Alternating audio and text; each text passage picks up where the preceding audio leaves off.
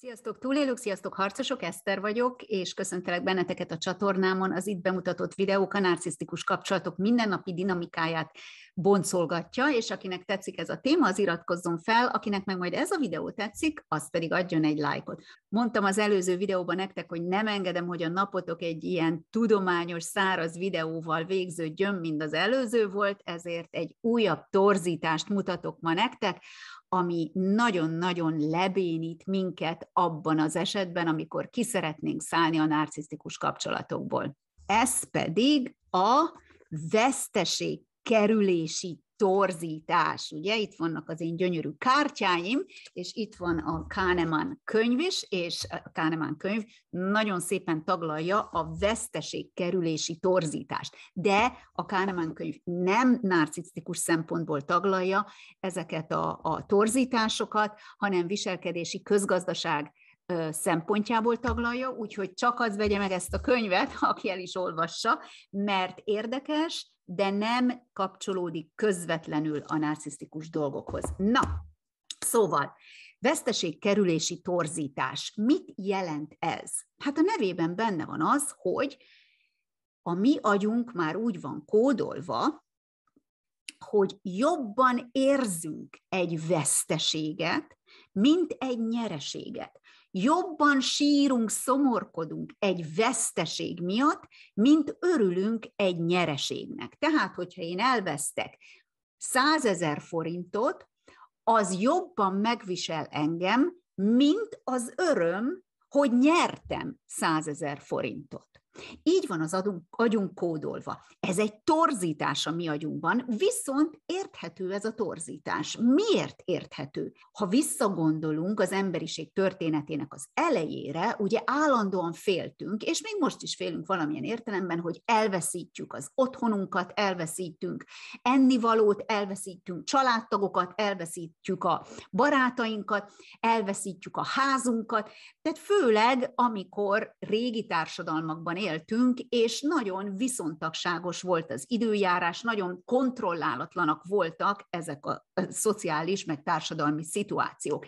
Tehát nagyon érzékenyen érint minket, a veszteség. Hát már évszázadok óta küzdünk gazdasági okokkal, érzelmi okokkal, társadalmi okokkal, amelyek kialakították bennünk ezt a veszteség kerülést, ezt a veszteséget kerülő hozzáállást. Tehát amikor a veszteséget minimalizálni akarjuk, vagy el akarjuk kerülni, az a legjobb, afelé törekedünk. Nem is igazán érdekelnek minket annyira a nyereségek.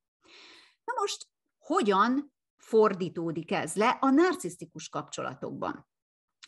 Ott vagyunk egy narcisztikus kapcsolatban elérkezett az idő, amikor már kezdjük érteni, hogy ez a kapcsolat nem egészséges. Eljött a döntés órája, hogy valamit cselekednünk kell, és érezzük és tudjuk, hogy a legjobb döntés az az lenne, hogyha mi ebből a kapcsolatból kilépnénk.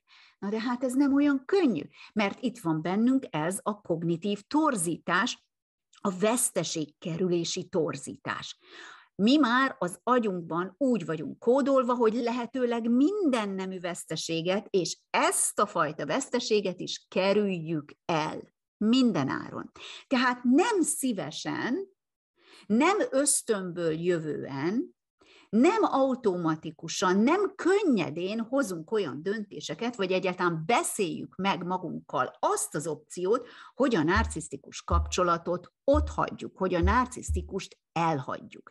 Miért? Mert az hatalmas veszteséggel jár nekünk, főleg akkor, hogyha életünk össze van kötve pénzügyileg is, meg más szempontokból is a narcisztikussal. Tehát egy anyagi veszteséggel is járhat ez az egész dolog. De ugye ott van az érzelmi veszteség is. Úristen, mi lesz, hogyha egyedül maradok életemben? Tehát a veszteséget az utolsó pillanatig kerülni akarjuk, mert mi a veszteségeket sokkal akutabban érezzük, mint a nyereségeket. Na most egy narcisztikus kapcsolatban a veszteséggel egyfajta megbánás is jár. Ugye? Mert akkor visszamegyünk más torzításokra is, amelyek ebből a torzításból szépen kiágaznak, hogy úristen, mi lesz, ha megbánom? Mi van, hogyha kiderül, hogy én voltam a hibás? Mi van, hogyha elkezdek úgy gondolkodni, hogy én vagyok a hibás?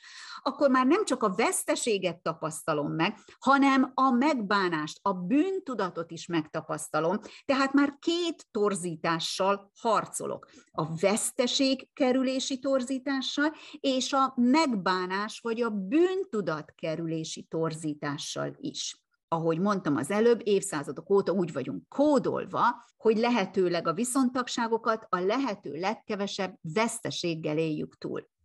Na és akkor mi van a nyereséggel? Hát mi már azért tudjuk, belül ösztönösen, hogyha kilépünk ebből a kapcsolatból, az nyereséggel is fog járni. Ugye hányszor van az, hogy veszünk egy papírt, elfelezzük, és odaírjuk, hogy pro és kontra. Tehát mi szól a narcisztikus kapcsolat mellett, és mi szól a narcisztikus kapcsolat ellen. Viszont itt a mérlegnek a két oldala nem azonos, nem azonos értékeket mér. Tehát egyik oldalról ott van például a veszteség, hogy pénzveszteség, elviszi a házat, az autót, a stb. Tehát az életünk kis, kis szövete teljesen szétzilálódik, mellette ott van az érzelmi veszteség, nincs romantika, nincs szerelem, mert a narcisztikus kapcsolatok nem mindig rosszak, és ez is megnehezíti ezt a döntést, hogy vannak nagyon jó pillanatok is, ugye, és ezeket dobozoljuk is, és ezek is megnehezítik a döntésünket. Itt van az, hogy lehet, hogy megbánjuk ezt a döntést, de a másik oldalon, ami a serpenyőnek, a, a, ami a mérleg másik serpenyőjében van, az pedig, amit, amit nyerünk abból, hogy kilépünk ebből a kapcsolatból, de azok absztrakt dolgok, amiket nyerünk. Tehát például a megnyugvásunk, a józan eszünk, amit nyerünk, a nyugodtságunk, az egészségünk, ezek absztrakt dolgok, amelyeket nem értékelünk annyira,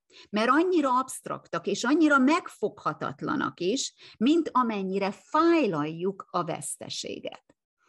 Szóval ez egy torzítás. A mi agyunkban a veszteség, bármiféle veszteség, pénzveszteség is sokkal fájdalmasabb, mint a nyereségnek az öröme. De ez egy torzítás. Főleg egy narcisztikus kapcsolatban torzítás. Mert igenis nagyon komolyak azok a nyereségek, amelyeket elnyerünk a narcisztikus kapcsolatokból kiszállva. Úgyhogy ezt a torzító filtert le kell vennünk az agyunkról, és meg kell értenünk, hogy ez a torzítás évszázadok óta belénk van kódolva, de nem, egyáltalán nem irányít minket a helyes döntés felé. Szóval a veszteségkerülési torzítás az évszázadok óta belénk kódolt torzítás, amit mi alkalmazunk rosszul egy narcisztikus, abuzáló kapcsolatra is. Nem szabad elfelejtenünk, hogy ez az évszázadok óta belénk kódolt filter, ez nem a narcisztikus kapcsolatokra íródott, hanem természeti, társadalmi, egészségügyi viszontagságokra száz és száz és száz és száz évvel ezelőtt. Szóval már kettő torzítást vizsgáltunk meg, az arany középutat és a veszteség kerülési torzítást. Kíváncsi vagyok a hozzászólásaitokra, és kíváncsi vagyok, hogy mit hagytam ki ebből az eszmefuttatásból, hogy milyen pontokat, fontos pontokat nem említettem, amelyeket ti esetleg említenétek. Sziasztok, itt folytatjuk!